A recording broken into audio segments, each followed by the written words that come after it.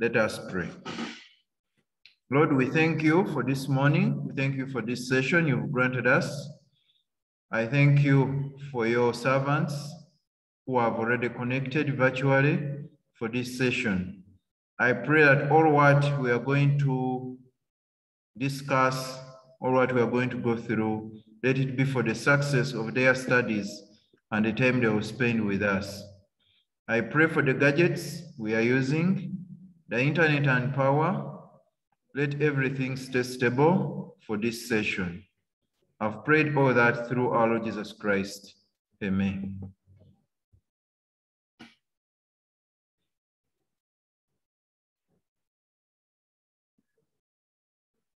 So I'm going to share uh, my screen and then we start off immediately. So you are most welcome to Uganda Christian University Library. We are going to have uh, a discussion or take you through the different platforms you can be able to access in order to access the library resources. This session is two in one. We are having the first session for library resources, and then we shall have a, a short break, and then later we have the Turnitin, which is the plagiarism checker software used by the university. And then I expect to meet you again on Friday, because that's the arrangement we have made with your dean, Dr. Rosemary. So today, to start with, uh, we have a library site, which is library.ucu.ac.ug. When you go to your browser, just type in library.ucu.ac.ug. Uh, it will be able to display. I've also shared in the, in the chat the link. Display the page you are viewing right now. So on the library page, you'll be able even to visit the university main page. You'll be able to visit the e-learning platform. The link is there. The Alpha platform, and then also Google Scholar, which is a, a search engine. And then we also have eBook Central, our main database for books, though it's accompanied with other databases. Resources for researchers, this is still under development. And then for those who would like to join the university, they can also still apply from here instead of going back to the main site of the university. So that's the general menu.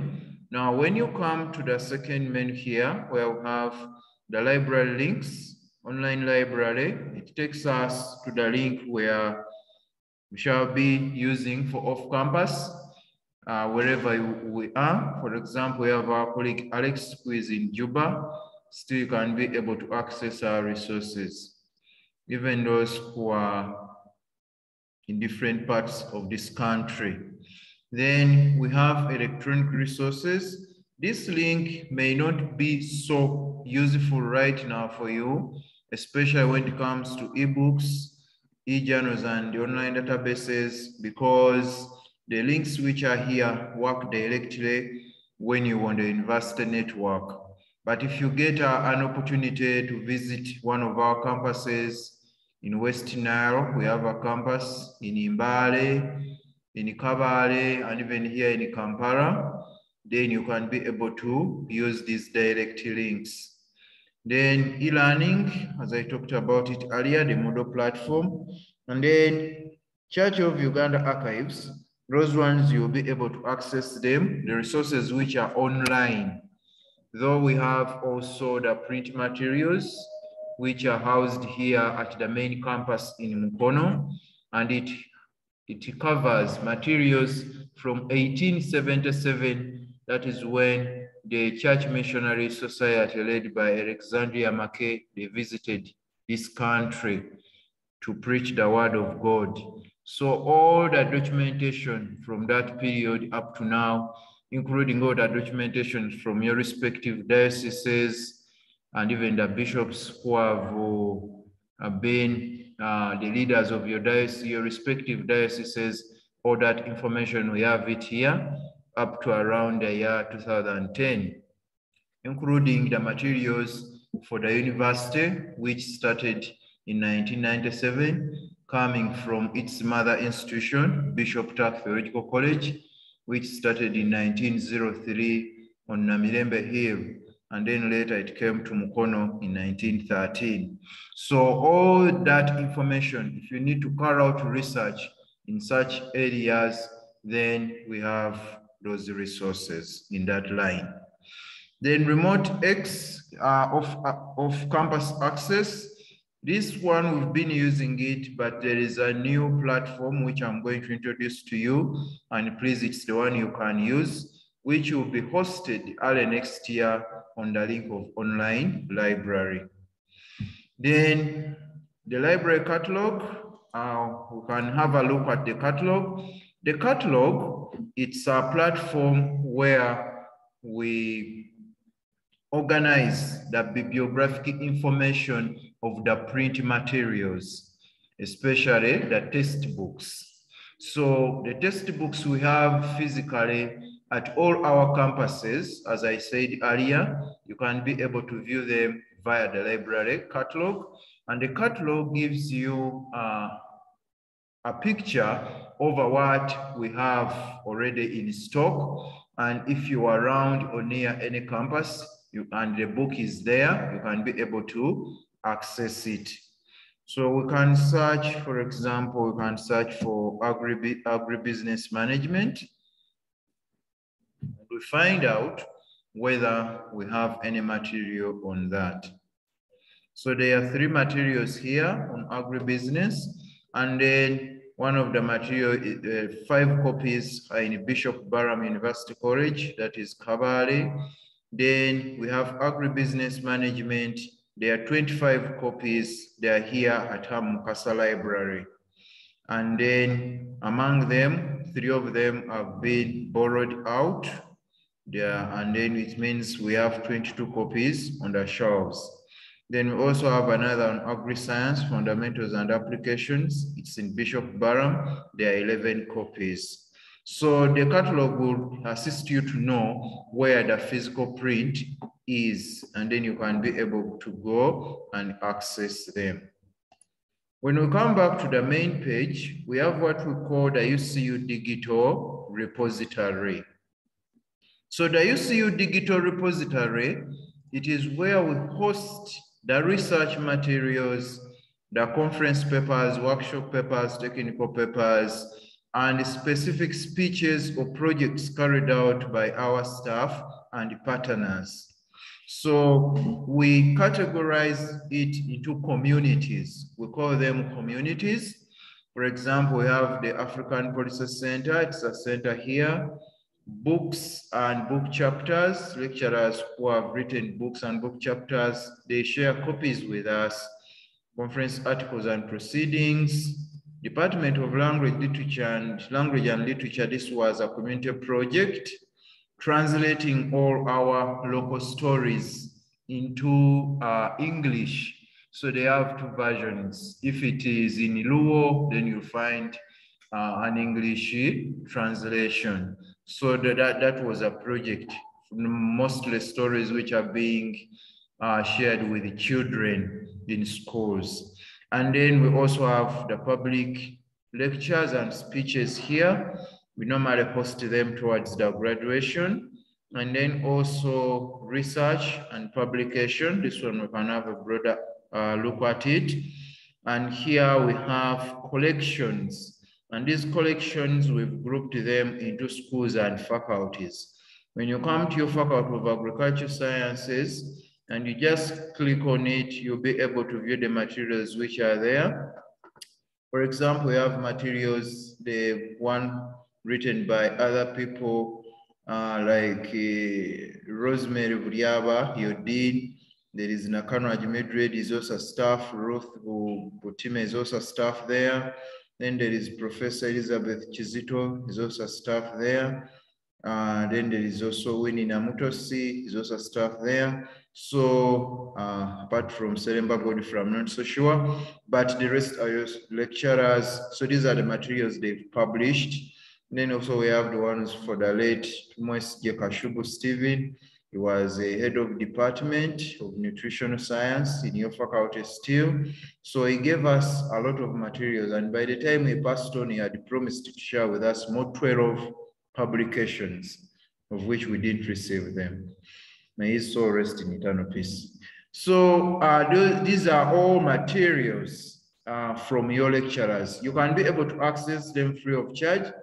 For example, when I click on farmers preferred traits, genotype choices in Solanum aethiopicum. Okay, let me click on it. So when you click on it, it will first give, it will first display to you the abstract. And if you need a copy, you go on the left-hand side of the page where we have view or open. And then you'll be able to access a PDF. So some of these materials, lecturers have published them elsewhere, but uh, the copyright allows us to upload them in our repository, especially when they are open access, or if the copyright uh, has expired, it can be like two years or three years, then we can be able to put it on open and then our staff and students can be able to access. So this is a PDF you can download it and use it for your academic benefit or research. So that is basically the repository. When we go back to the homepage, we have the link for research, which is still under development. So some of the links here, uh, they are still under development, so they are not complete. Then you can also request for trainings. This training was organized by, by, by me and your dean. So if you need a training separately, you can still come here and request and just fill uh, the Google form and then we can be able to train you as an individual or in small groups. So then uh, we have below here other features like other databases, uh, the library resources, then also information literacy materials here. So this platform, we've uh, we had to put it down and then redevelop it. So that's why some of the links, they will not take you too much far, uh, whereas it is still under uh, construction. So, but uh, at least the resources, we made sure that you can be able to access them straight away. Then the rest of the services can keep on coming in slowly by slowly. So uh, this is the main page. And now I'm going to take you to the other link, the link which we are going to use for off campus. I, I, I want to believe that everyone now is able to access the Moodle and Alpha platform because the link we are going to, you need to have those credentials which are used for Alpha or Moodle, and that is the access number at students.ucu.ac.ug, as well as the password which was given to you. So if you if you've not yet finished the registration, then that would mean uh, you are going to view whatever we are going to do, but you will be limited to some access. So that requires you to ensure that you register with the university fully, and then you can be able to access these resources.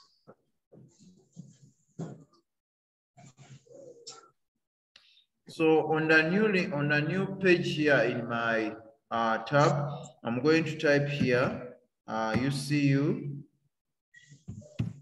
is UCU sempertool.dk. I'm going to share this in the chat as well.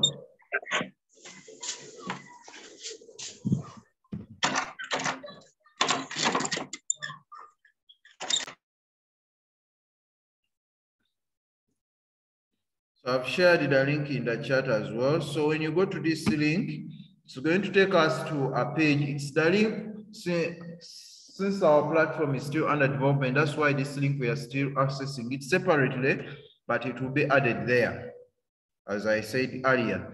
So this link, when you visit it, the moment you click on it, you load it on, it will take you to a page which has user authentication and you are required to log in your UCU student email. That is the access number at student.uc.ac.ug and then your password. and then you are able to log in. So the platform is called ST Proxy, but it's being supported by a tool called Tool. So I'm going to log in and then shall be able to navigate.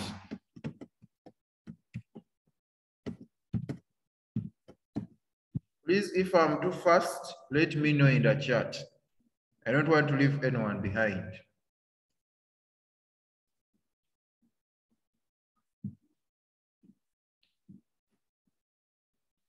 So this is our main page for off-campus.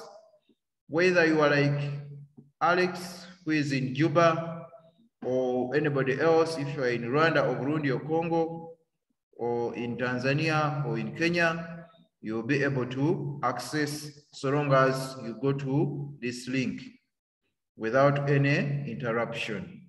So we have a number of databases here, but we are going to select the key databases as far as your programs are concerned.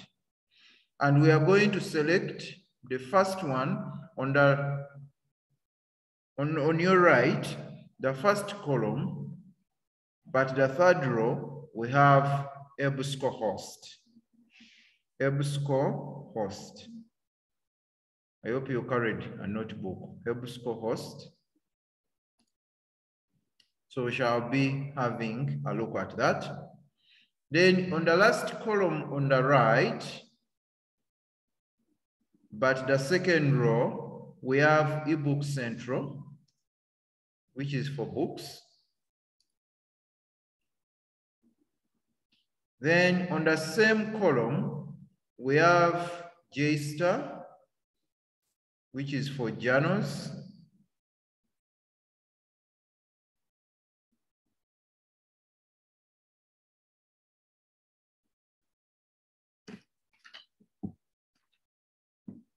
So we are going to look at we are going to look at those databases and then later there is another database which has its own off-campus access, and that one shall be able to access it direct, and that it is called Research for Life.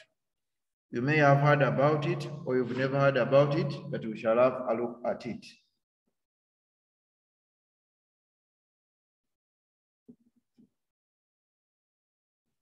Okay, so let us start with the EBSCO host. So EBSCOhost, it's a platform which has a number of databases. And in our library science language, we call it an aggregator. It's an aggregator because it hosts a number of databases. So when you come to its homepage, you click on choose databases. And then they will show you a number of databases we have access to. There is Academic Search Premier, which is multidisciplinary. It's for journals, magazines, and newspapers, international newspapers, not our local. Then Atlas series, Atlas series, region collection, which is for a region, and this one we shall untick it. And then also communication and mass media complete for those who are in communication, journalism and broadcasting. If your research is there, you can leave it unticked or if you can take it off. Then we have Eric. in case you are going to teach, uh, if you are going to teach uh, in, your, in your school or in a college or in a vocational institute, you may need Eric, but Eric is purely education management and administration, anything related to education, can untick it. Then we have green file, which is also multidisciplinary for journals then we have ebook, academic collection. And then also we have ebook business collection. Business collection, it has materials of books on business alone. So we are going to leave these ones ticked and then we shall click OK.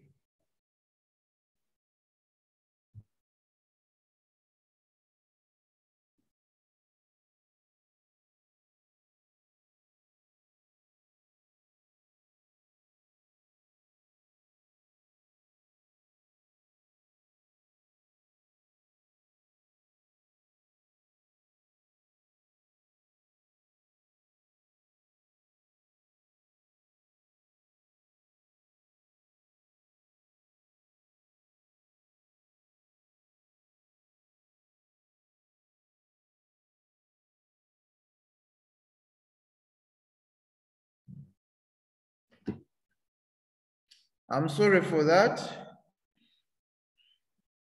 Okay, so when you look, when you look at these databases, I, I said there are three databases. I talked of EBSCOhost, ProQuest, eBook Central, and then JSTOR, Journal Storage.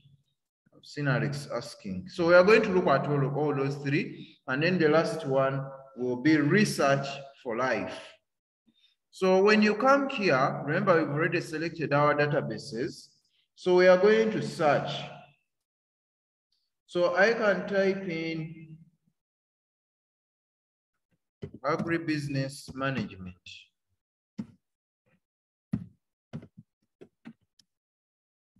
Okay, and then I'll search.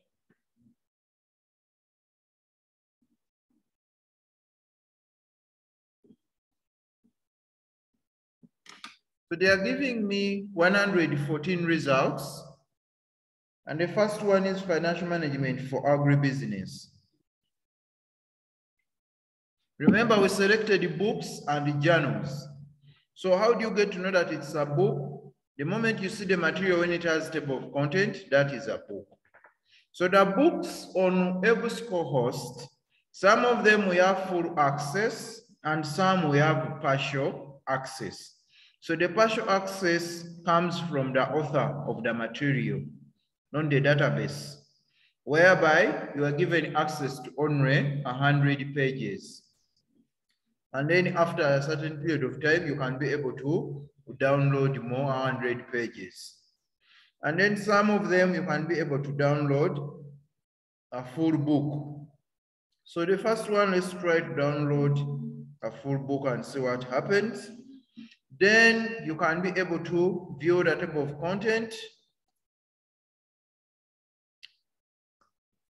Okay, so this is its table of content agribusiness management, and overview, data collection and recording, financial recording, keeping, cash flow management, assessment of business equity, taxation management, and so on. So this is its table of content. Then you can also look at most relevant pages of this book. So they will show you the most relevant pages of the book. The moment you say plus sign, it means when you click on it, it will display a drop down. It's not, not downloading for us a full book. Okay, maybe you can go to uh, full text PDF. Okay. Then on the right hand, on the left hand side of the page, there's what we call refined results. This is very important, whereby you can limit to full text and by default, we have access to everything here now, but there is publication date. They are showing 114 results, but from 1992 up to 2022. And what I know from your faculty and even your lecturers, they need you to have publication is from 2015. Unless if the material is very important, then you can defend it and explain why you'd like to access it when it is 10 years old or more than 10 years old. And then you have to justify whether there are no current materials. So then when we change the duration, for example, let me say from 2005 2022, how many materials I'll be able, I'll be able to access 103 material, uh, results. And then you can come to the source type. Some are academic journals, some are ebooks. The ebooks, there are 27. Some are trade publications, magazines. And you click on show more to give you more. Then the subjects. When you go to subjects, agri, agriculture, industrial, industries, India, then there is a, okay, I'm seeing most of the subjects are directed to India. And then when you go to the databases, they are showing you that under academic search premier, we have 76, ebook collection, there are 11, academic, there are 10, and then business collection, there six. So if you only needed maybe a academic search premier, which has journals, so you click on it, the database will refresh and then you only have the 76 results.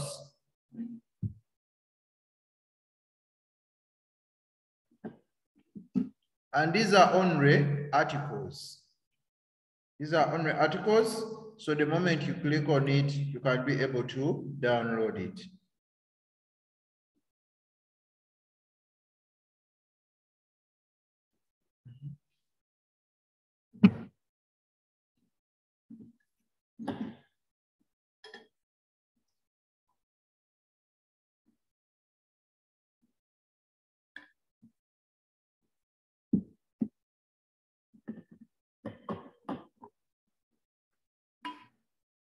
So the material is loading, then it will display a PDF file.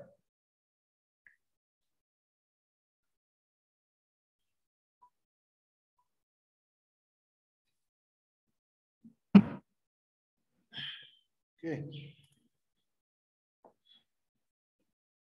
Uh, this book couldn't resolve the post.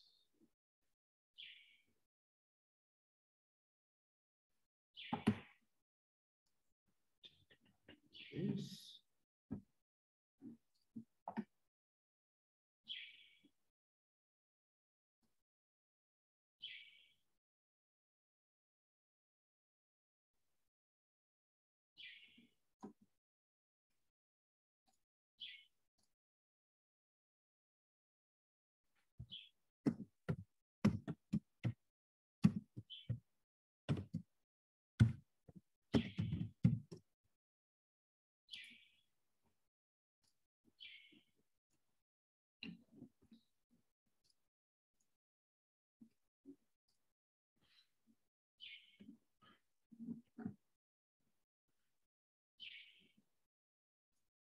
So our article is still loading. It could be the network, that's why it's taking long. Otherwise, when the network is stable, it will not take that long. So that is how you can be able to navigate through EBSCO. And then now when we go back to our main platform where we got EBSCO, that's where we are going to go also to find eBook Central. So eBook Central, it's for books only. It's not like EBSCO, which has both books and journals. So when you go to EBSCO, on its main page, on the main menu we have on the left-hand side, it is search bookshelf settings and then sign in. You have to sign in. So you click on sign in, which is going to take us to another page, which has two options. One, to just sign in if you have an account, and then also you can create an account. So when you are here, you can create an account. You click on the button for create account, and then your first name, your last name, your user email, and then password. So this one, the email, you can use your Gmail, not necessarily the institutional mail we used in the first place. You agree with their privacy policy and terms of service, and then you create the account. And it's uh, approved there and then. If you already have an account, you just sign in, which I'm going to do.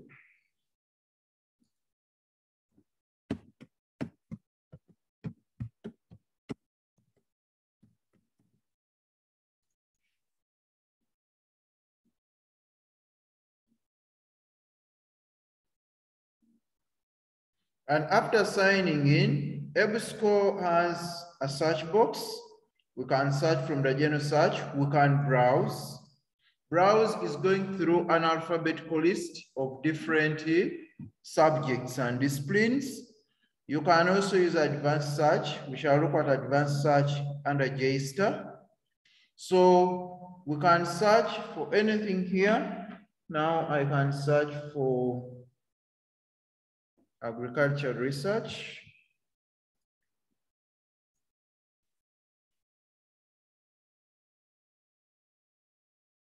And they are giving me 82,134 book results on agricultural research.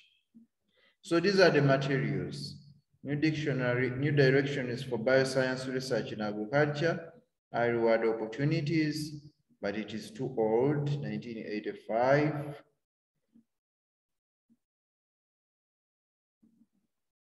So what the database will do is to go on highlighting the key terms you've used.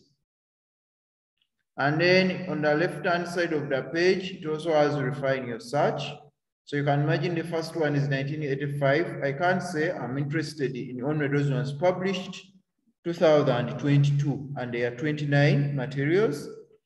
So the numbers will drop here from uh, the 82,000 to 29. If you need from last year, 2021, I'll click on 2021, and then you're going to give me materials since last year. Now I'm not seeing anything related to agricultural research. You can untick and go back. And then I'll start going through these materials. There's a book here for 2015. Uh, then there's 2018.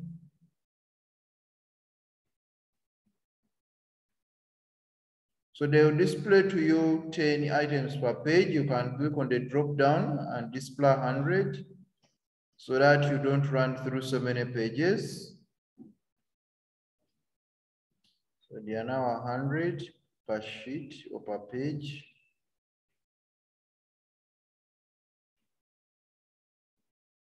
Genetic engineering of plants agriculture research opportunities and policy concerns, but it's old. Uh, you, there, some of them are very old books, but you can try to check and then you get the current ones. But I would advise you for current materials, unless if it's literature, you can use the journals. The books are also important, especially when we're doing your class assignments. But when time comes for you to do your dissertation is the journals will be in the right position to give you the most current information, uh, which is in the range of five years. So these are all books. And then let's get one and see how to access. I'll use the first one. When you come to one to every book, we have these special icons here. The first one is full download. Next is read online. Next is table of content and more. And then add to bookshelf. So this is an online bookshelf, not offline. It's an online bookshelf. So the moment you click on it, it will take you to a general folder by default, which has research. Then you select a folder where you would like to put them. But sometimes you don't have a folder there, you create one because there's a provision for new. Now for my case, I have a number of folders here, so I can get one. I have one for agriculture, which is general, so I can pick that one, and then I'll add the item there. So when you add the item there, in future, you will not need to search again for the material. The moment you log in, you just go to your bookshelf. So the moment you tick, they select it, the icon instead of a plus sign just change it to a tick. And then if you want to view more details about the book, you can right and click and open it in a new page.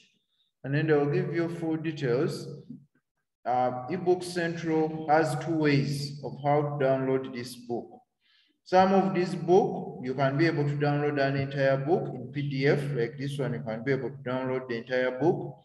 But there are also some books which you cannot be able to download the entire one, but you can borrow it for 21 days.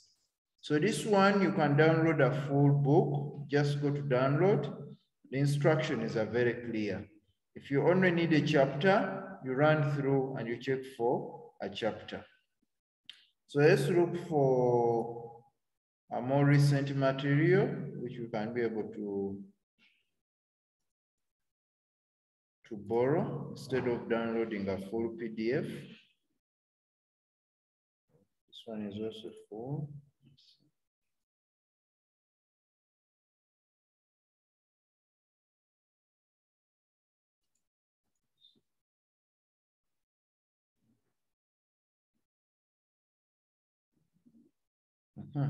So like this one for bioresources technology and sustainable agriculture, biological and biochemical research. So now this one, you they are giving you different instructions. Get all pages require a free third-party software. Check out this book up to 21 days. So now the instructions keep ch changing depending on the author's uh, instructions. So it's the author, it's not the database which makes these decisions.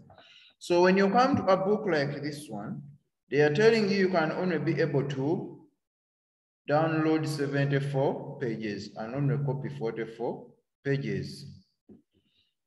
Yet the book, when you look at its details, it's a huge one, it has 293 pages.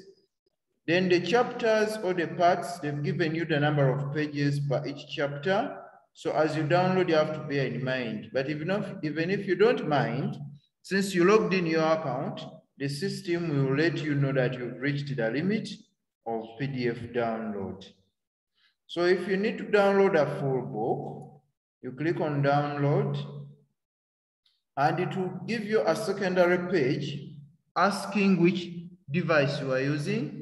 But most cases by default, it picks the device, then you continue. So when you continue, you are required to have Adobe Digital Editions to download this book, and then you can get this on this orange button. The moment you click on it, it takes you to another page to download Adobe Digital Editions.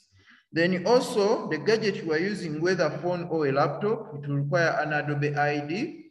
So you have to download an Adobe ID. So you go to, uh, you, click, you click on Adobe ID, which takes you to a page for you to create an Adobe ID for that particular gadget. It's not that when you, you create it, then later you'll have to uh, use it on another computer. It works only on one gadget. So when you are, this is done once for the machine you are using, then next time you just say done with this step.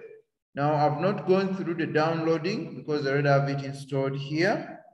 And then you come to the loan length. It can be one day, seven days, 14 days, or 21 days. So if we select one day, those will be only 24 hours. And it starts counting immediately. Then you click on download.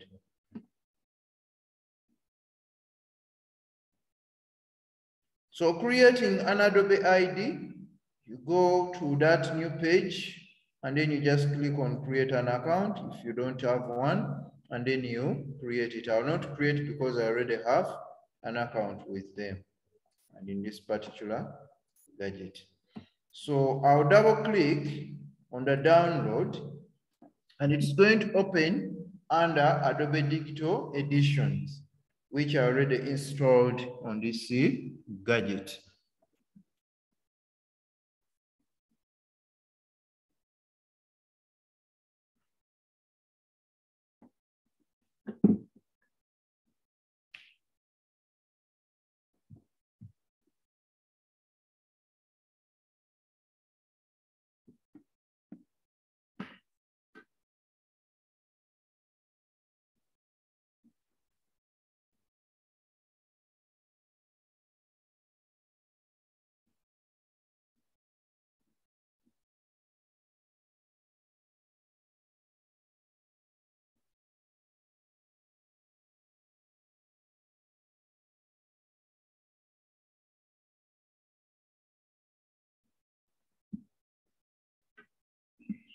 So the moment it displays a page of this nature, it means your internet is not stable enough.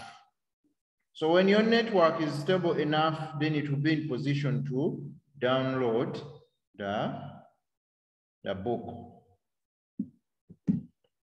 So that's why it's giving an error, error getting license.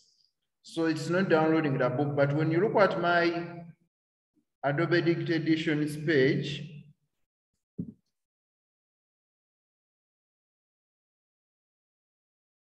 Recording in progress.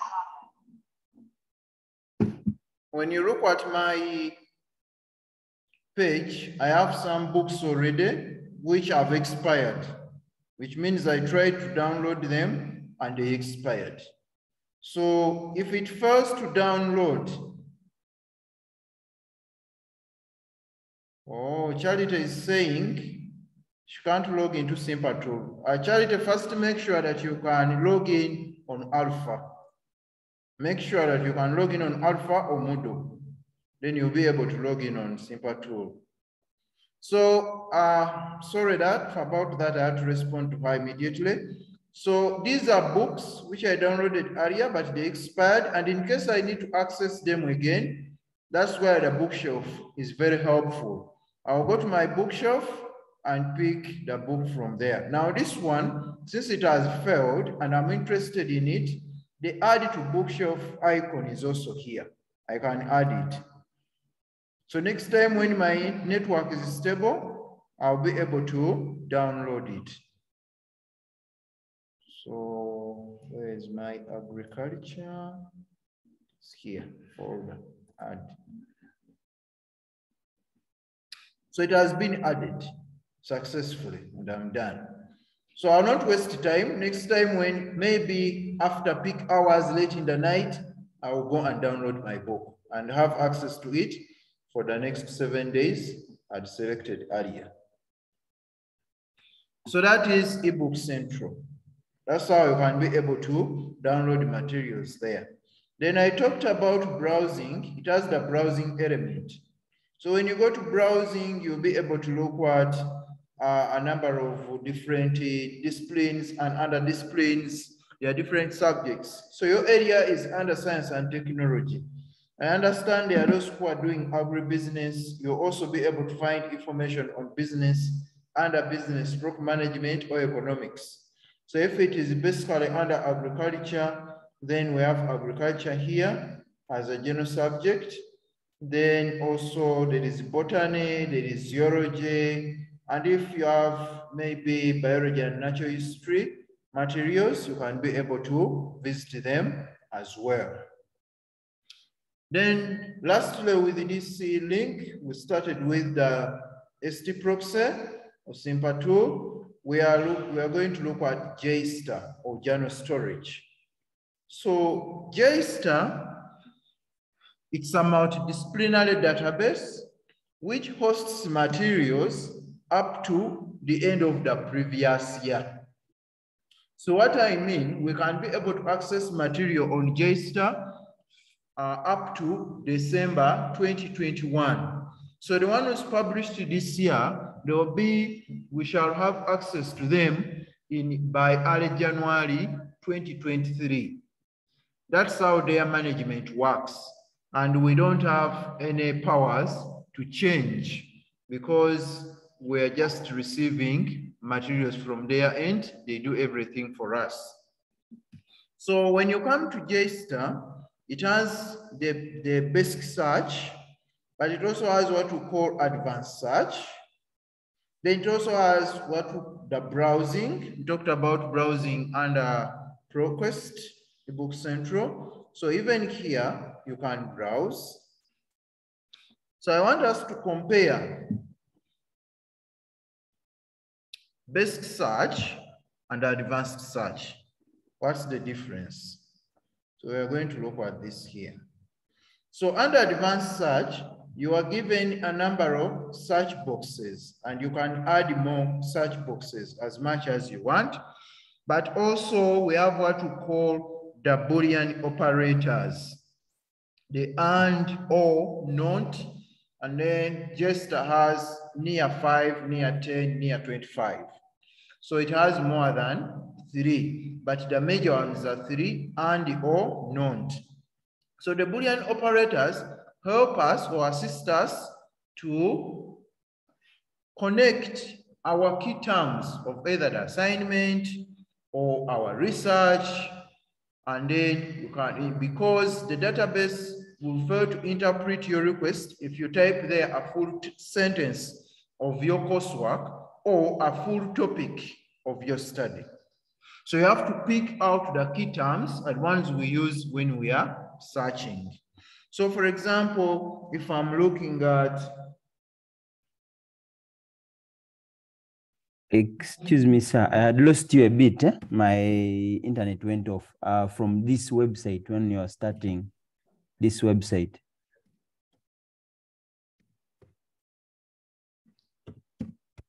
Okay, we are we are at EBSCO, rather JSTAR. So JSTAR we've just started. There's nothing you've lost.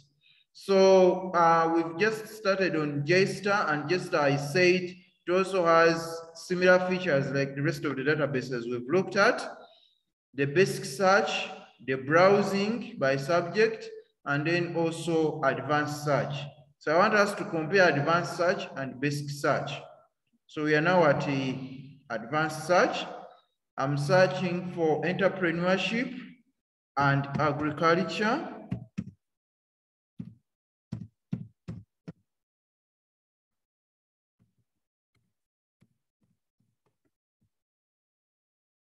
Management. So if I don't want to include the management element, I can say not. So meaning the database will give me information on entrepreneurship and agriculture, but the management element will be left out, to not be included. Then when you come to all fields, when you select by, by author or by item title, it means your key terms, the database will connect them to either the author who has written about them, or if you select item title, it means all the results should bear in their title, entrepreneurship, agriculture, management.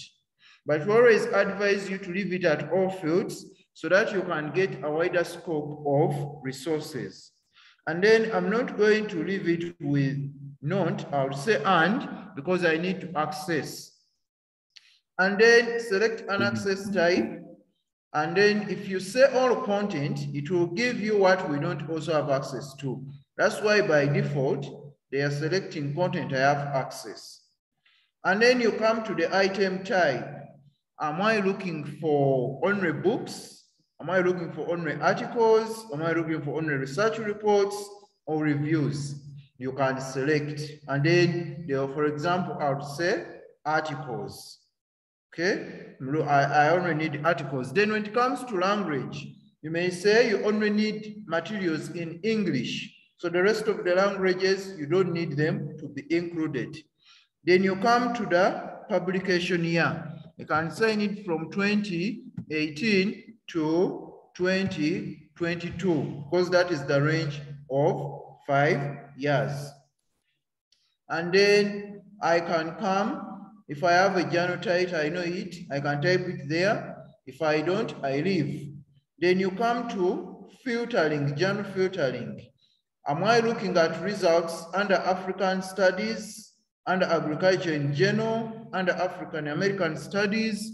So it's up to me to decide.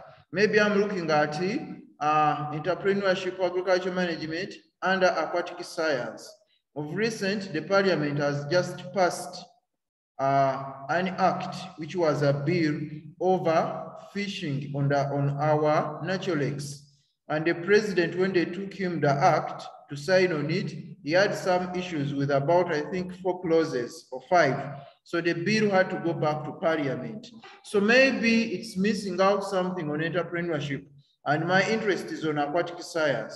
Then when I'm looking at information on entrepreneurship, agriculture management, I'm specifically looking at aquatic science. Or I can leave all those ones unticked and then I'll just click on submit advanced search. I'll submit. So let's see the results. Then we can go to basic search and do the same. It is enter entrepreneur, entrepreneurship, and agriculture.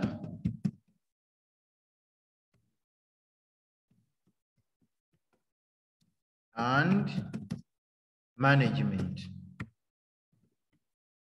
Okay. This is basic search now.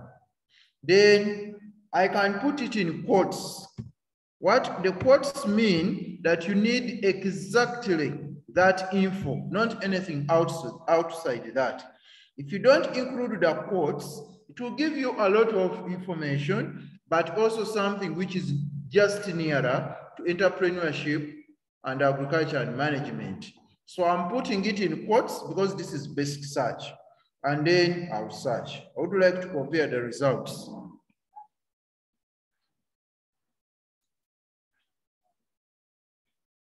And here they are giving me no results. Let me check basic search. Basic search is giving me 348 results. Then I'll come here and remove the quotes and see what happens. Because the quotes, they limit you.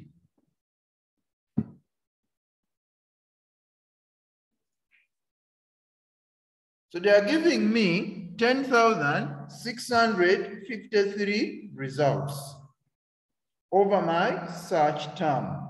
But that is basic search. But when you go to advanced search, this is what they've given you.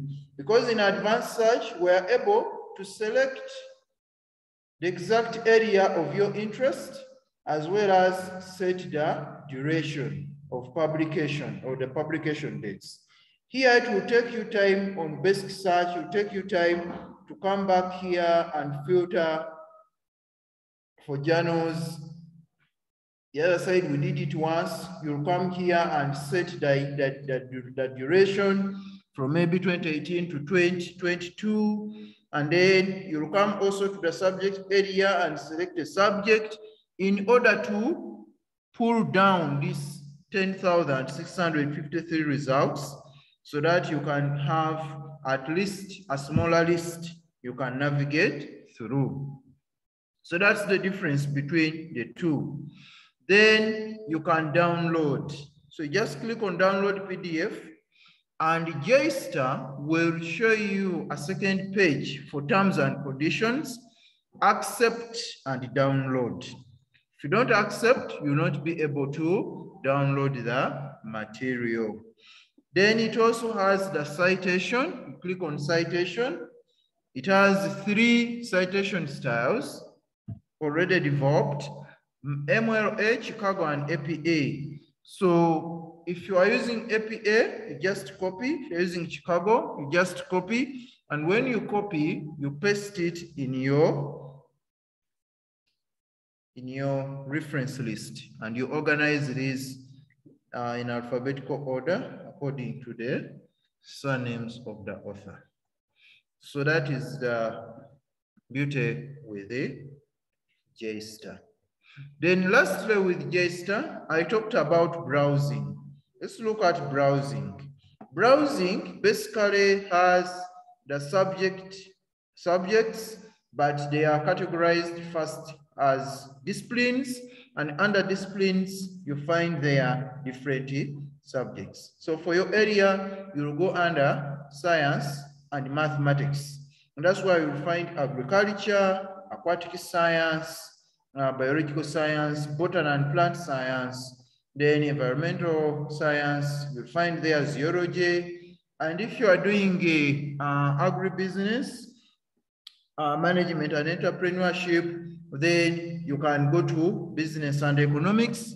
And then there is business, government studies, economics, finance, marketing and advertising, labor and employment, and so on. So when you go to a specific subject, for example, the one for botany and plant science, let's open it and have a look. It will take you to a page where you'll be able to view a list of different journals.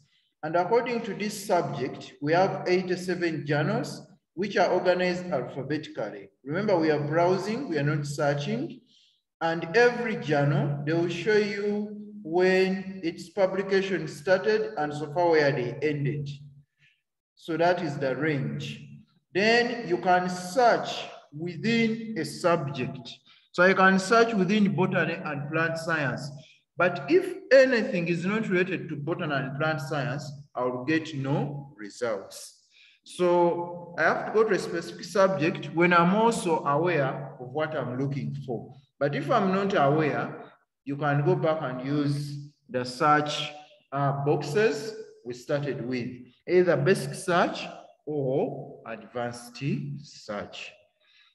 So those are the three databases so far. And then the last one is called Research for Life. Research for Life. So just type in your browser, research, four is in digit, research for life. So research for life, when you go to this page,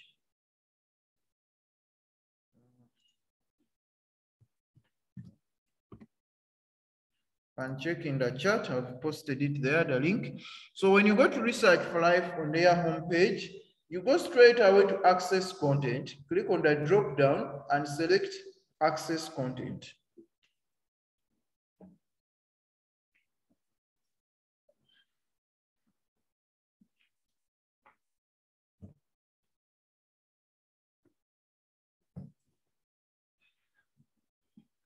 Okay, excuse me for a minute, please.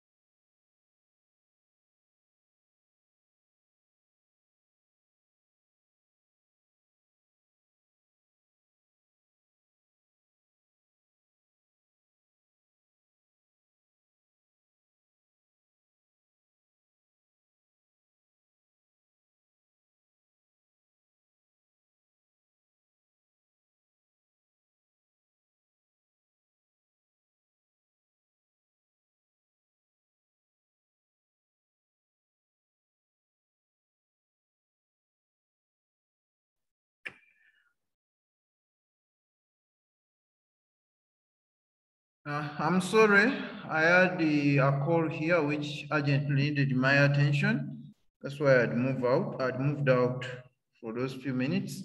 So members, we can continue. Where I ended, I'd shared with you the link for Research for Life.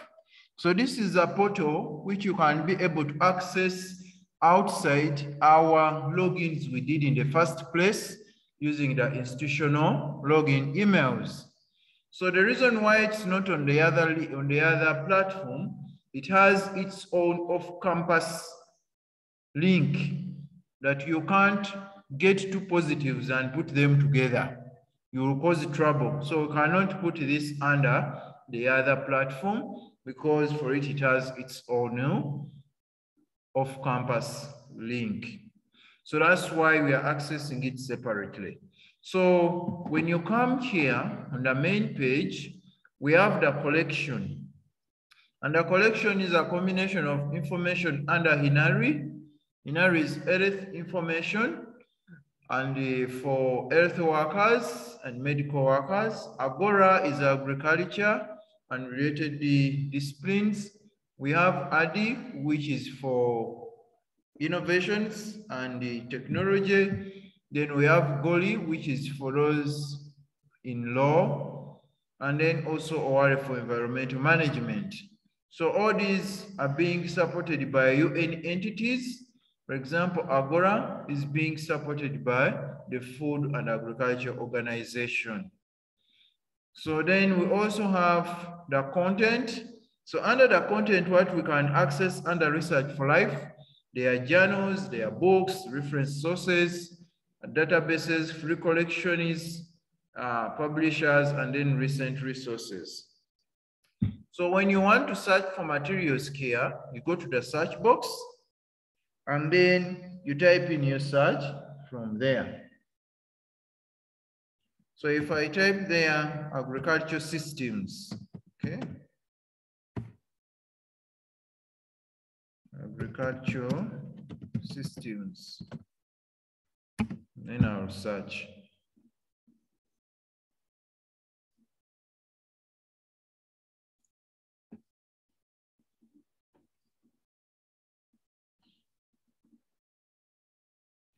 So they are giving me 988,009 results. These are too many. And these materials, the ones we have access to are ones which have PDF. So the moment you say material without a PDF, that one you will not be able to download it. So the ones we have, have access to, they have PDF. And then it also has the range on the left-hand side of the page, refine your search. So you can refine your search. And under here, we have the publication dates. So you can say for the last five years or three years or one year. Then we have a number of disciplines here. We're looking at, uh, at agricultural systems and agriculture in particular. And then we also have the subject area here. And then you can specify a specific subject. If I'm looking, for example, at agricultural systems and environmental science and ecology, there are 1,000, there are 19,000 results. So there are a number of subjects here. So the moment you click on a specific subject, the total numbers, they will, they will drop down or the results will drop down. So downloading such materials, the moment you click on PDF to open in a new tab, and then you'll be able to download the materials. So basically that's how you can be able to access uh, research for life. So lastly, on this part of e-resources is one of the aggregators, rather the search engines, which is called Google Scholar. So after looking at all those databases, if you fail to get what you want from there, you can use also Google Scholar, not google.com, Google Scholar. So Google Scholar, we are going to go there briefly and have a look. How does it operate? Okay. So when you come to Google Scholar, it has a search box. And then for you to enjoy its services, it would be better to have logged in. You should have a Gmail account. So let me first sign out.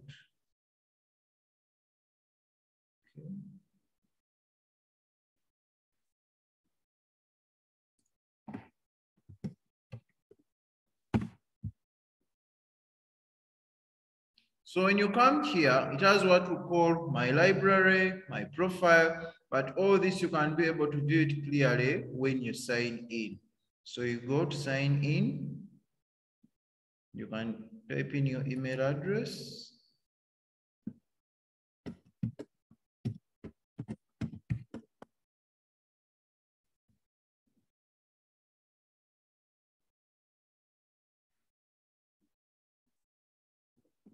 So you can search from here. I'll search for agricultural research. And they are giving me 5 million.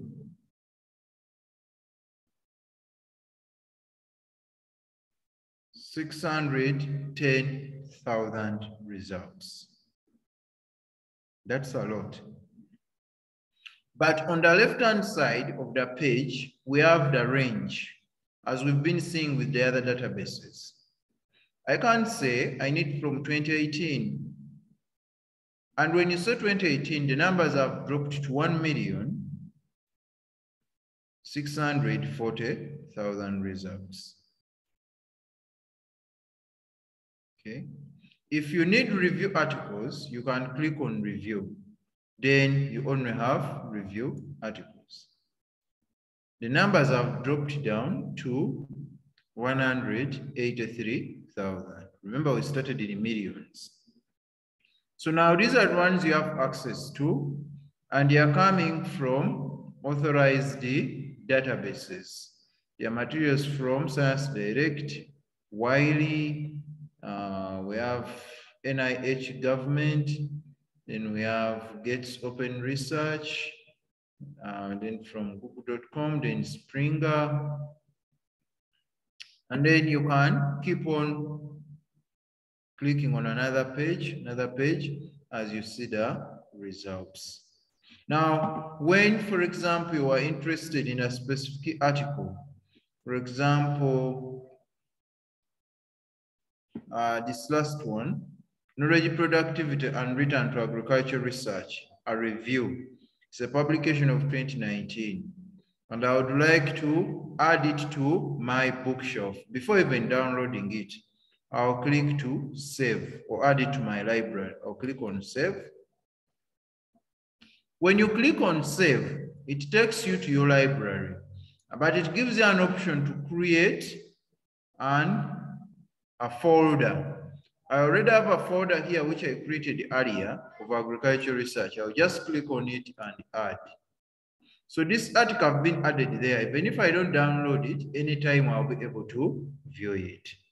Then it also gives you the citation. Click on the word cite. Okay, and then you are given MLA, APA, Chicago, Harvard, Vancouver. If I'm using Harvard, I'll click on Harvard. Right and click on it and copy. And then I'll paste this in my reference list. Also, it gives you related articles. On the same article we are on, you can right and click and look at articles related to this specific article. And there are a number of them here. So you can be able to get them. Then you can also have a look at all versions of this same article. Now we can be able to download it and click on PDF and then we are able to download. Now there are scenarios, if you're interested in an article like this second last one, mass spectrometry based non-targeted and targeted analytical approaches in fingerprints and the metabolomics of food and agricultural research. And you need access to this article. If it has no PDF, first look at all versions and find out whether there is a PDF. Now it doesn't have, so what you do, if you don't have, sorry, make my, okay. If you don't have access to all of them, then you can share with us, you can share with us, just copy this information, all of it, and share it with us, then we can be in position to find a way of getting this article for you. Because there are scenarios when an article doesn't have a PDF option. Even those ones which are having HTML, you might go there and there is no provision for PDF, but we can always look for, for it so long as you've given us all this information. So let's go to the left-hand side of the page. After looking at how we can get the materials, let's go here and look at our library, my library. So when you go to your library, it will show what you've populated there. And for my case, I have here agricultural research, I have customer relations, go-to-market and production, nutrition, education, nutrition management, and so on. Because this is what I've populated. Then I can search within my library. So if you've not selected materials to be saved here and you search for them, you'll not be able to get them. You have to go back to the main search box where we started from. Then also you can create alerts. Can create alerts. When you click on alerts, takes you to a new page of alerts and alerts will go straight out to your email address. You click on create alert. Okay. So when you click on that, then you, you type in what you want to be alerted over. I can say still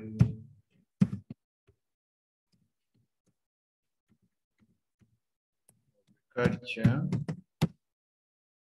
management. And then I'll click on create alert. Automatically, it will first show you what is relevant, what they have, but you click on create alert. So when you click on create alert, it will give you the most recent results, meaning what has been published last night, what, what is going to be published tomorrow or any other day. So you will not get all the materials. You will get current materials from the time you inserted in your alert. And those alerts will go straight away to your email. And that's where you will find a link to download those PDF materials. In case you are done with that assignment or that project, you can just come back to your alerts and cancel. So you click on cancel and then you accept to cancel alert. So I've canceled, I don't have any alert there. So that's how you can be able also to use Google Scholar for academic benefit. Thank you so much. I want to first pause this session here, uh, unless if there is any question, you can raise it before we get a break of 10 minutes. Then we move to turn it in. Thank you.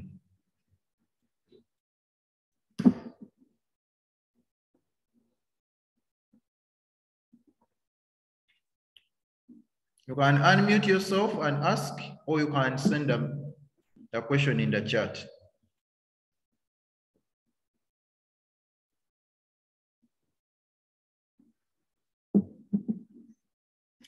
Cyrus, do you have anything to say? We are on reviewing your video.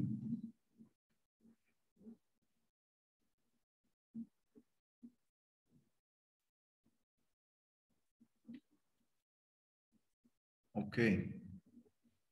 So keeping quiet means we've understood. Okay, let's have uh, a 10 minutes break. Then at 11.38, we can move to another, oh, first wait, let me see, there's a question here. The recording, you receive it. That one, you receive it through uh, Dr. Rosemary. I'll share the recording. That one, you shouldn't worry. Uh, hello. Yes, please. On um, the citation that uh, you talked about, uh, are you able to tell the difference between those different methods of citation? Like a small, method? a small expla- e- explanation on the citation. I see APA. And Yes, those are those are citation styles, but uh, our university recommended APA, but uh, also your faculty. Uh, I will find out from Dr. Rosemary whether you have a specific one because you are science students. Because what I know mostly scientists they usually use Harvard style. So those are styles of referencing and index citations. And if you want to learn more about citations, uh, there, there is a lot of information online which you can check and then you find out. For example, if you want to find out how APA works, how Harvard works, how Vancouver works, there's a lot of information online or MLA or Chicago. Then you can learn a lot about how you can do the citations. But uh, on Friday, we shall look at that in particular. Uh, the session we are going to have on Friday. We shall be talking about that. Thank you.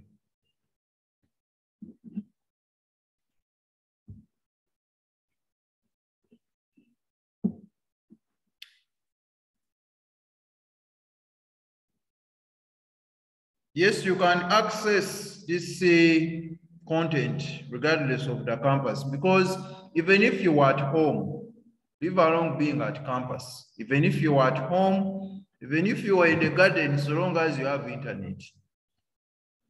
Even if you are deep, deep, deep, deep in the village, so long as you have internet, you'll be able to access these uh, databases. Google Scholar doesn't require any add-on. Research for Life doesn't require. The three databases we first looked at, you have to first log in under uh, ucusempertool.dk, the link which I shared earlier. So it's the one you are supposed to go to, and then you are able to, uh, to log in using the UCU credentials, and then you can be able to access these resources. So I've, I've shared it again in the chat. So in case there is anybody uh, who cannot, who, who has not yet registered with Alpha, definitely you will not be able to access these resources under Sempertool. But I'm getting information here from uh, what is in Juba is accessing everything from Juba. So if you are here in Kasanda or in Mubende, or you are here in Mbale, or you are just in, in Moroto, you, you cannot give an excuse if somebody in Juba is able to access these resources. So you can be able to access them even if you leave African continent and you go to another continent, so long as you use the right links, you'll be able to access these resources. Thank you.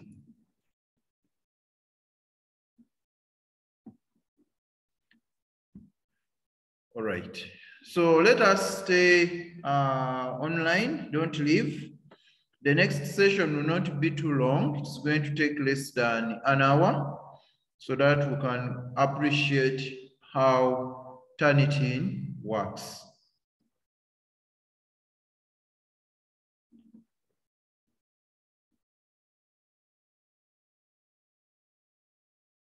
So we can have a 10 minutes break and then we shall start again at 11.43.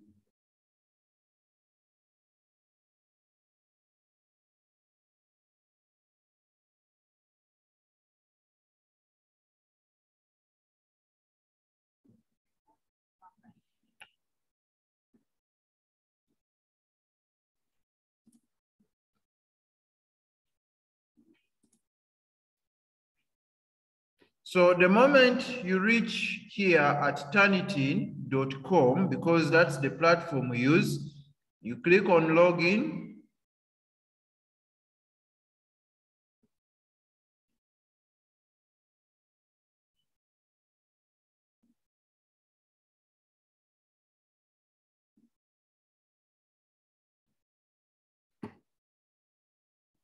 And then when it brings you to a page of this nature, since it's your first time, you don't type in your email address and password, you go to new user and click here.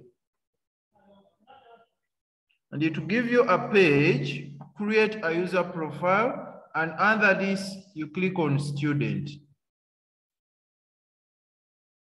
So when you reach here, you are required to have a class ID information. All students might, must be enrolled in an active class. Enroll in a class, please enter the class ID and enrollment, enrollment key that were given by your instructor. That is the lecturer. So you type the class ID and enrollment key, your names, your email address, confirm the email address as well, your password, confirm the password, then you come to secret question. The question is already designed. So you pick a question of your choice, and then you type there the answer. Agree that you are not a robot, and then later click on I agree, create profile. So it will take you to the account. So I'm going to share in the chat some of the training classes which I created.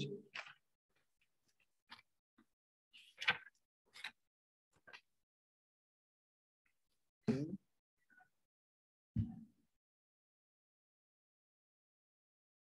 have one for agribusiness.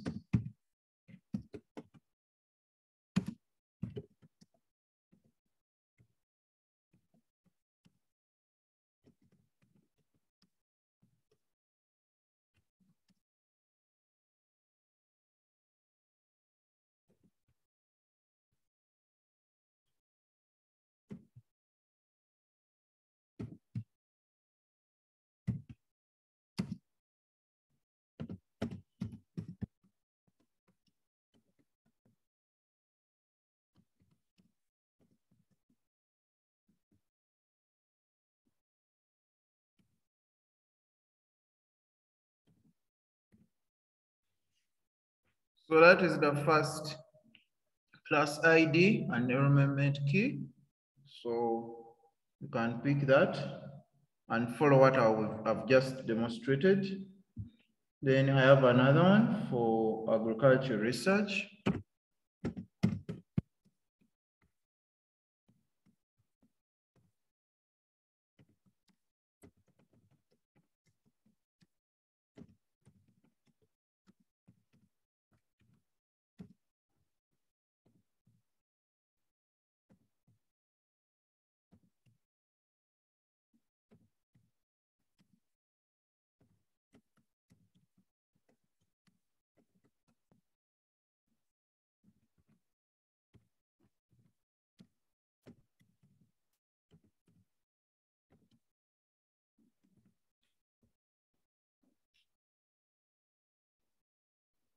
So those are the classes. So you can give them a try. Just log into any of them and then we shall be able to continue.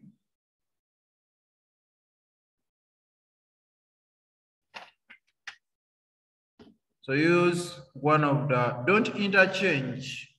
If you've decided to use agribusiness management, don't interchange its class ID with the one for agricultural research. It will not work out. So use at least one and create an account. So I'm giving it 10 minutes. So at one minute past midday, we should be having some people who have finished and then we continue.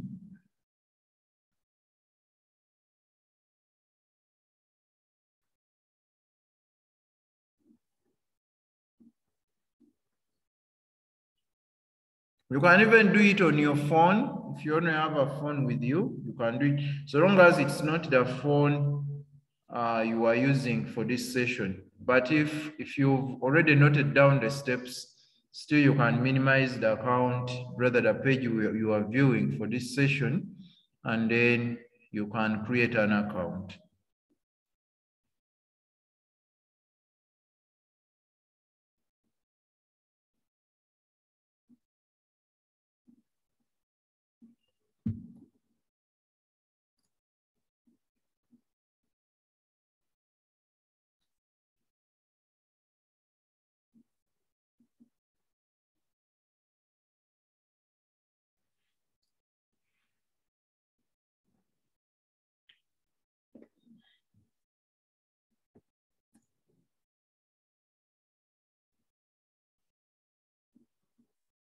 Okay, uh, what is saying you already created, you don't need to. If you already have, please don't. Please don't create again. This goes to only those who did have accounts. So if you already have, please don't.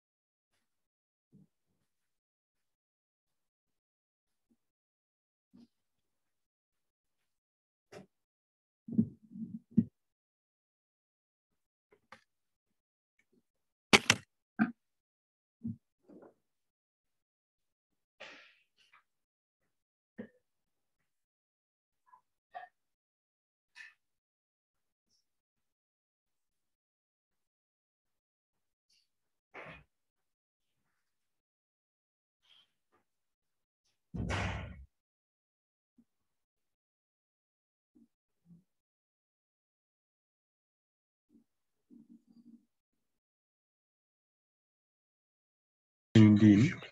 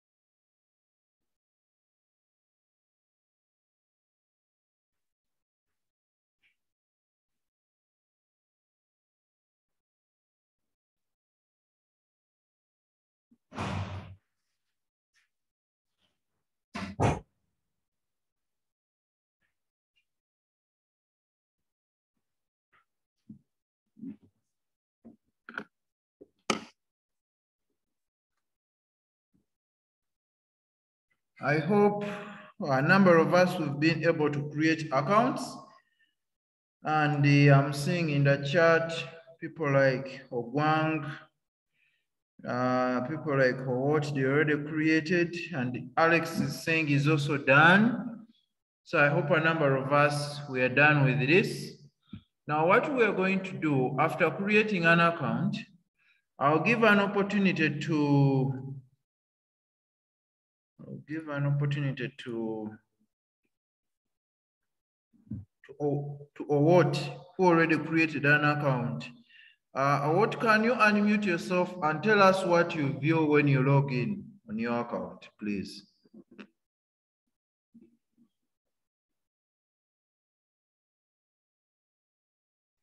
For what?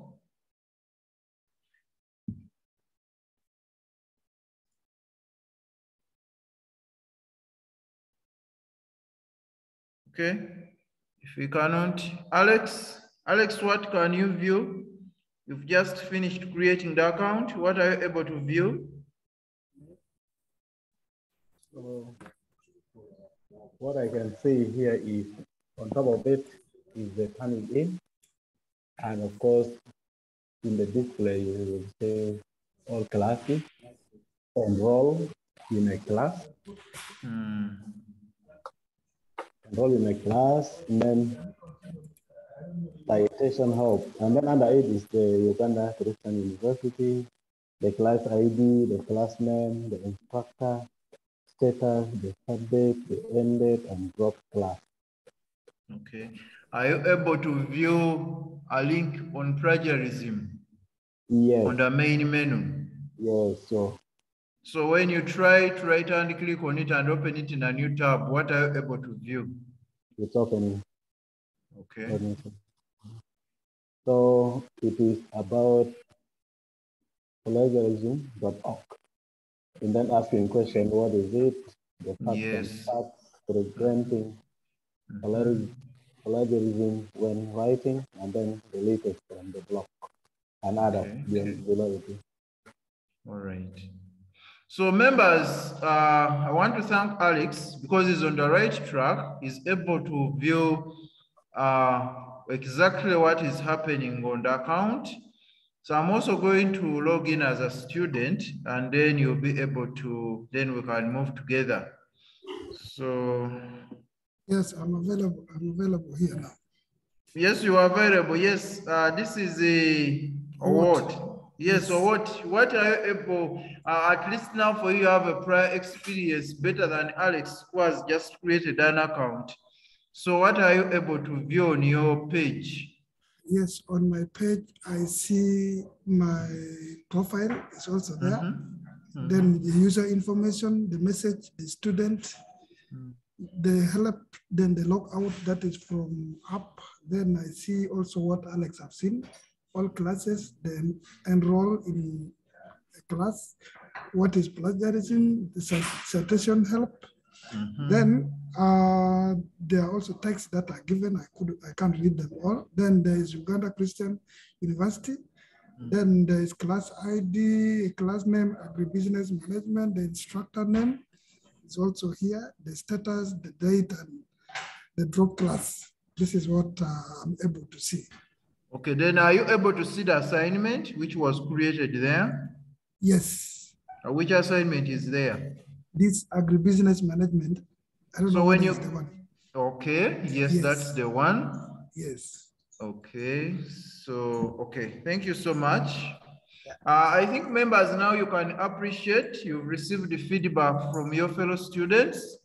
Uh, this is not rocket science, it is real. And uh, I, don't understand what Geoffrey is asking. He's saying, I seek guidance with class ID and enrollment, key. I think these ones I shared them, I can repost them in the chat again, maybe. But, but I, I, I've not understood him actually, what he wants exactly. Uh, let me just post them again in the chat. I don't know whether that is what Godfrey want, but uh, I, I, I'm not getting you clear when you say guidance because Hey, Charity is saying I can't see the assignment. So, okay, let me log in. Then I can demonstrate clearly. Uh, let me log in as a student, not as a staff.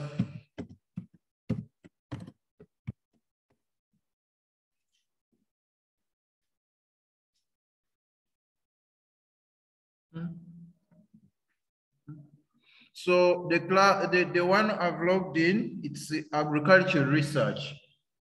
And some of you who already have agriculture research, which you've logged in, I think you can be able to view the instructor. It is Stefanas Galinya, is the one who created it. And it, the class is ending on 31st December. So Alex and the, or what they shared with us, what they can view, all classes, enrollment in a class, what is plagiarism, citation help. So when you click on what is plagiarism, it can take you to another page where you can read about plagiarism. So take your time. We're not going to go through all this, but take your time, read about plagiarism. There are videos there on plagiarism, then on the left-hand side of the page, understanding plagiarism, preventing it, teaching about it, plagiarism checking, plagiarism research, plagiarism policy. So all that information is there for you to read. Then when you go back on the, our main menu of the class we've entered, when you click on citation help, then you can get information on how to do uh, citation, so there's also a lot of information here about citation and referencing. Then enroll in a class. If you have another class, because when you click enroll in a class, it means you are going to add, let's enroll and see. So when you say enroll, they'll take you to class stroke section ID, the ones I've already shared, and then enrollment key. So if you've enrolled for agricultural research and you'd like to enroll for agribusiness management, then you put the details for agribusiness management here so that you are able to enroll into different classes. So let's go back to home. So when you are here, our class name is agriculture research. Just click on it for all those who have created accounts. Click on it once.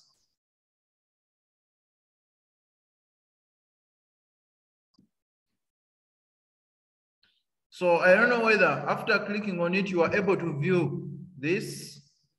Uh, and then there, there is an assignment which I created there, and it is research concept paper. That's the one which I created. And the submission is started on 16 September. They will be due by 21st October. So at 11.59 p.m. East African Standard Time. So when, when that time clocks, nobody will be able to submit the assignment. Nobody. So now when you come here, you click on, now mine is having resubmit because I already submitted an assignment and there is a similarity report here. And the message says, this is the percentage of text in your paper that matched sources in our database. Click to view the similarity report. So Turnitin has already created a similarity report. But when I was creating this assignment, I gave it an option of multiple submissions because this is work in progress. It's not an exam. If it was an exam, you submit once. I would have created it for you to submit once, you can't resubmit. So that's why the blue button is having resubmit. So I can resubmit three times now, and then I'll wait for 24 hours later and then submit again. So when you submit your work, when you click on submit, for example, it takes you to a page of this nature, okay? Then you can either select single file upload or cut and paste. Cut and paste, it means you'll cut your essay and paste it. But if I have it as a folder, by default, my names are there because I'm a student. And then I'll type there the, the, the submission title of the essay. And then I'll search for it or choose it from my computer or from Google Drive and then upload. And after uploading, I will confirm. Then after confirmation, in less than 10 minutes, the report will be there. And then let's go back to the report. Okay.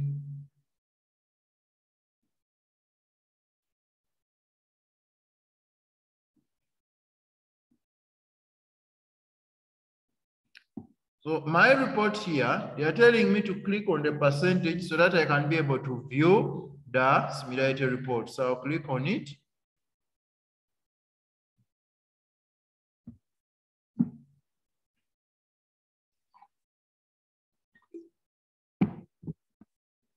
So this is my report, still online. On the left-hand side of the page, let me try to maximize it. On the left-hand side of the page, there is a drop down. Then before the drop down, there is all sources. So when you click on all sources, it will display all sources which have percentages of plagiarism. So what similarity. So when you go to, for example, uh, when you go to five, 5%, this work was submitted by a student earlier. These are student papers which were submitted earlier. So it will keep on giving the percentages of where the work was picked from. Some are internet sources, okay? Then I can click on the drop down, download icon. And the moment you click on it, it brings a small page here for download, they're giving you three options. Originally submitted, that means you'll get the original paper you submitted. Digital receipt, just a receipt uh, acknowledging your submission. Then if you want the report in PDF downloaded, you click on current view. And now I'm going to interpret the report for you here. And that's what your lecturers will be doing. So when you submit an assignment and you submit it under Turnitin, you'll be getting reports.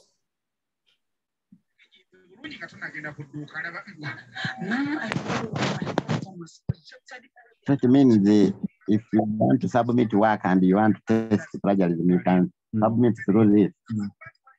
Yes, Eh, you can, depending, depending if the class has not yet been uh, closed, because now these, these classes have given you the essays, you can use them to test your essays, but by 21st of October, they will expire.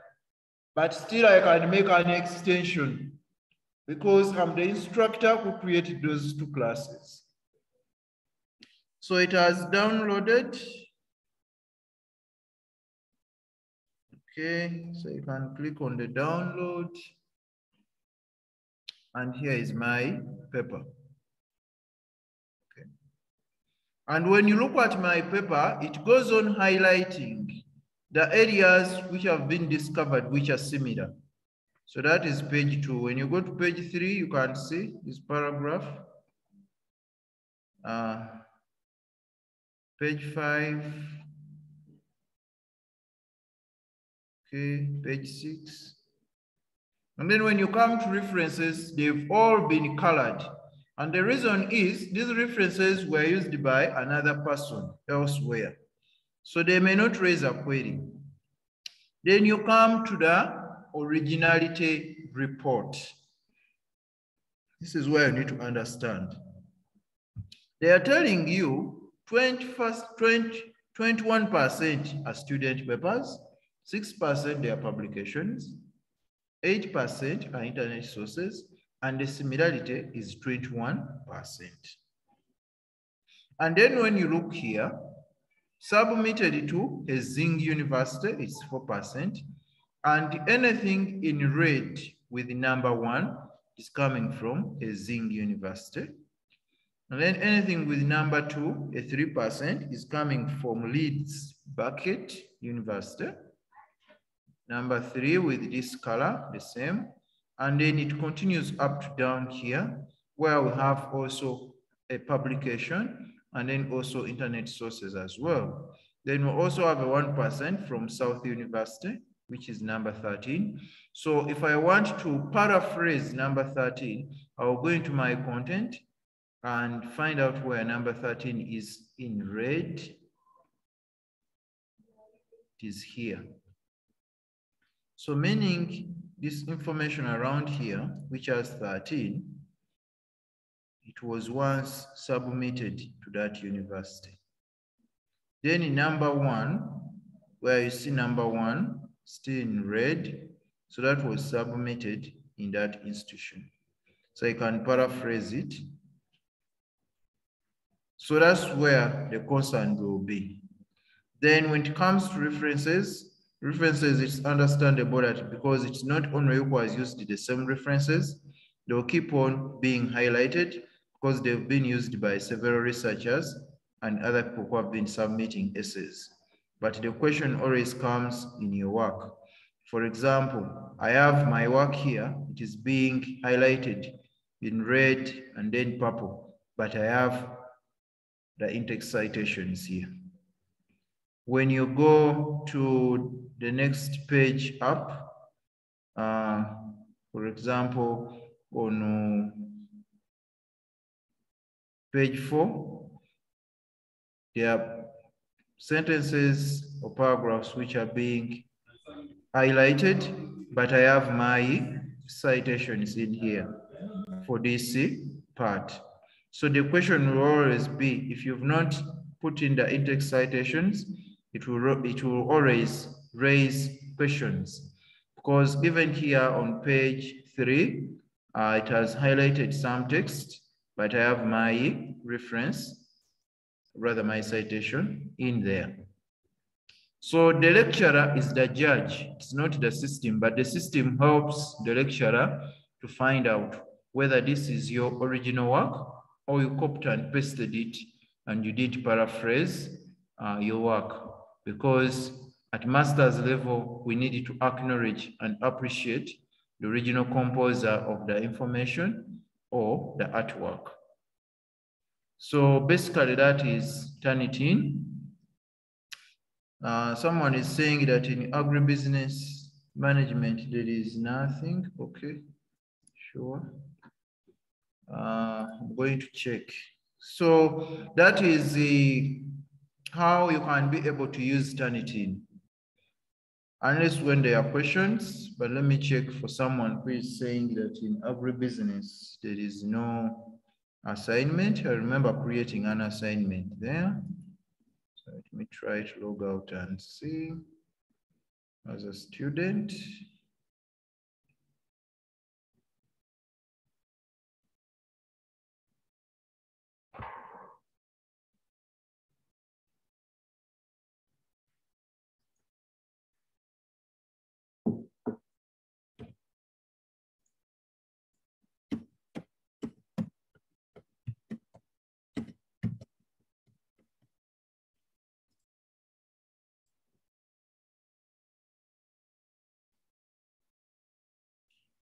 So for other students, you will not be able to view this page because for me in, in, in a category of a lecturer, I'm able to view all my classes here.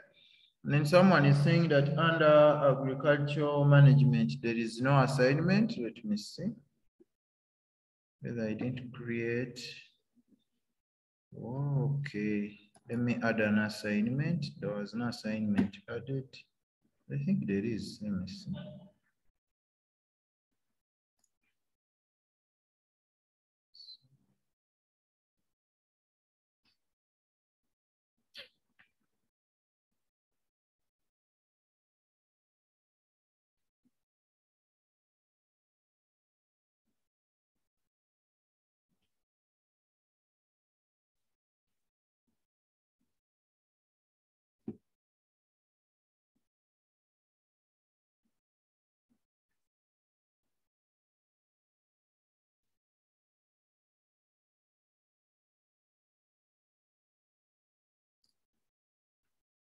Okay, I'm going to create an assignment under agribusiness. So for those who have uh, logged in creating that.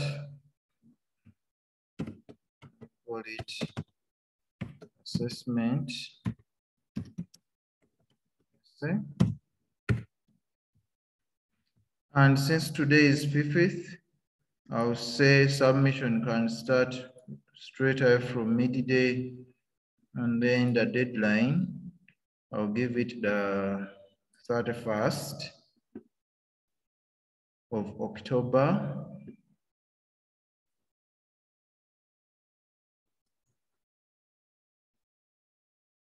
So for those who created the accounts using agribusiness management, uh, let me finish up, then you can refresh. So just refresh your accounts, then you'll be able to see the paper there, rather the assignment there.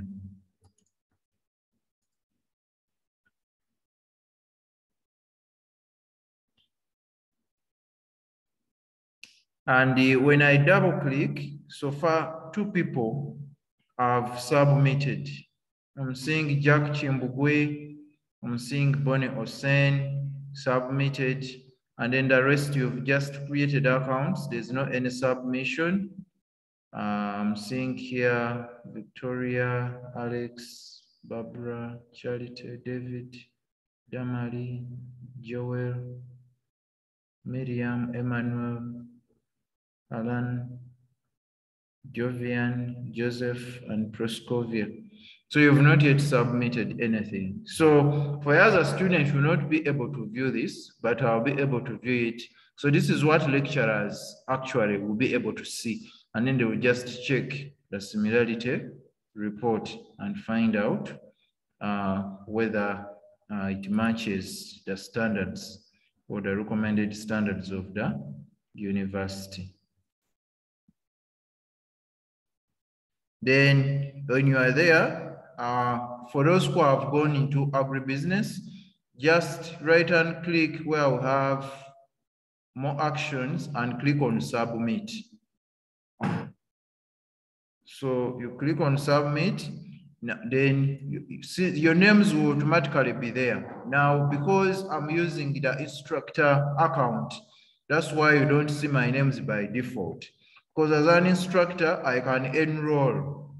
So I can enroll all of you since you've already created accounts. So I'm seeing your names here. So I can keep on enrolling one by one, and then I'll keep on checking your work. But because that is very tiresome, and would like you to appreciate the use of this platform, that's why a student yourself, you can be able to uh, submit your assignment as an individual. Now, when you look at the second assignment, which I've created, assessment essay, uh, still because you created accounts, so you can be able to uh, log in. For example, if I get Proscovia, all her details will be put here, then I'll submit her work on her behalf. But please do it yourself. Uh, the, the accounts are there. Uh, just go to more actions and submit, and then you'll be able to submit your work.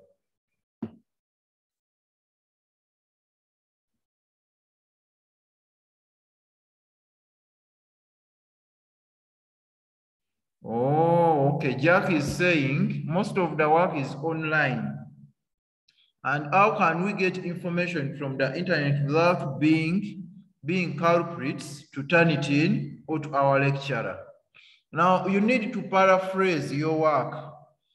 So uh, we have paraphrasing tools online. So when you go online, you can check and look for a paraphrasing tool, but you have to be very careful because some of the tools, most of them, they have free access, but they also have a premium access. Premium means payment. But what you have to be very cautious about is the paraphrasing tools. Sometimes they change the meaning. They change the meaning of the passage or the essay. So you have to be very careful. Then you can also use what we call uh, a thesaurus. I don't know whether you've ever heard about a thesaurus. So a thesaurus, it has a number of synonyms. So which can interpret, which can give a lot uh, more, uh, more words of the same meaning. So when you go online, you can be able even to download a thesaurus. For example, you can just type there and say, if you say an online thesaurus, it means you'll be able to access it online, but uh, I can download, uh, I can come, or on your phone, you can get an app, a thesaurus app, and then you keep on changing the words. For example, I can say download an offline thesaurus dictionary. Offline meaning that if I'm not online, I can be able to use it. Or I can download thesaurus in PDF. Then I'll come here and look for a PDF. For example, there is the Oxford Thesaurus and a Z Dictionary of Synonyms. Then because it's a PDF, then I can be able to download it. So I'll be using that one. Then there's also another one here, which only has Thesaurus and it, there's a PDF provision. There is Thesaurus of English, Nano PDF, so you can also download that one. Uh, controlled vocabulary and Thesaurus design training manual, that one is not a Thesaurus, it's a training manual. So when you go on Google, you can search and download a Thesaurus which will help you to paraphrase your work. There is one here for Millennium Webster Thesaurus. Let me click on it and see. Okay, this one seems to be online. It's not a PDF. So you can look for one which has a PDF version. Then you can be able to, there is also Webster's New Dictionary of Synonyms. So that's a dictionary, but a thesaurus is better.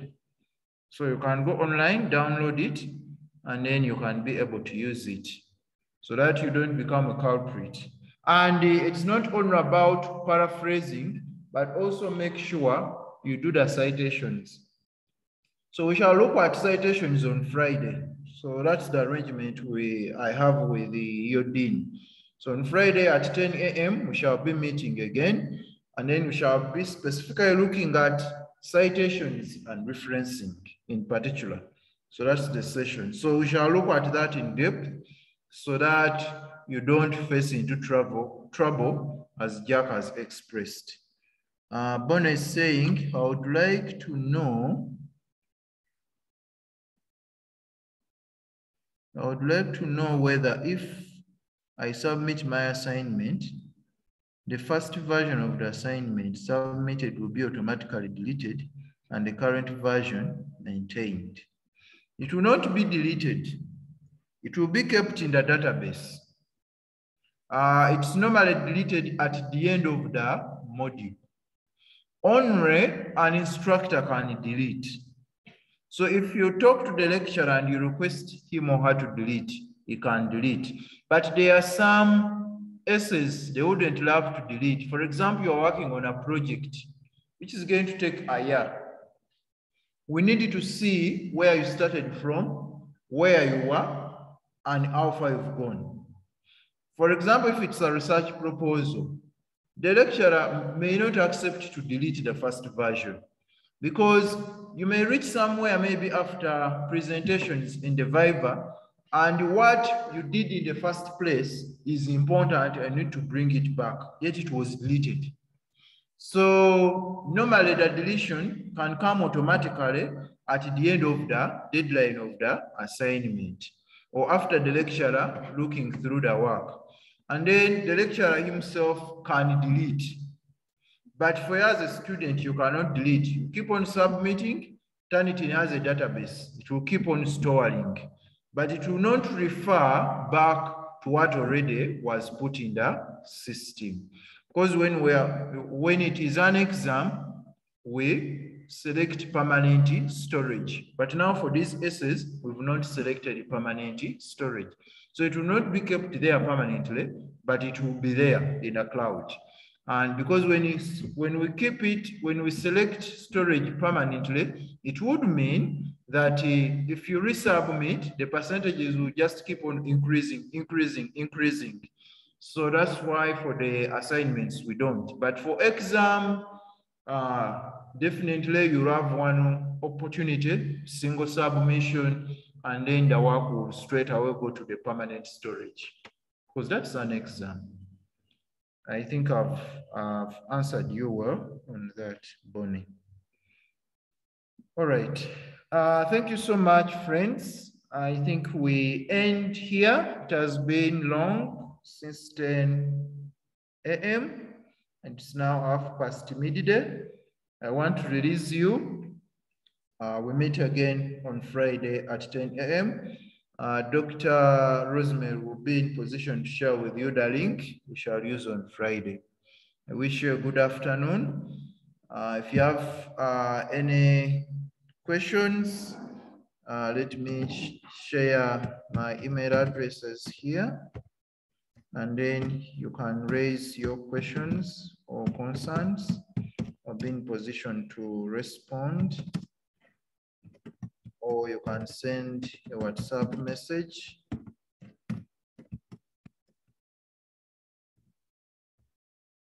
Then my phone contacts.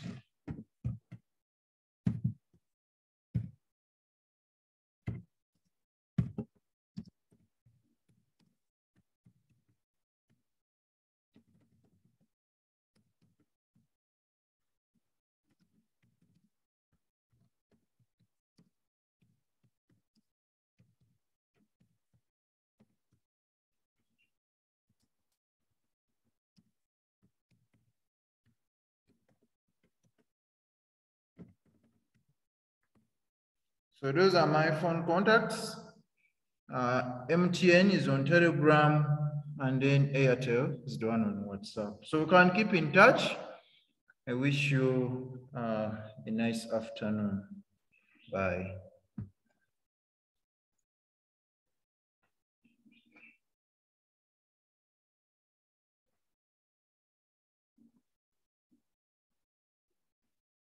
Bye-bye. Okay, bye bye. Thank you. You're welcome.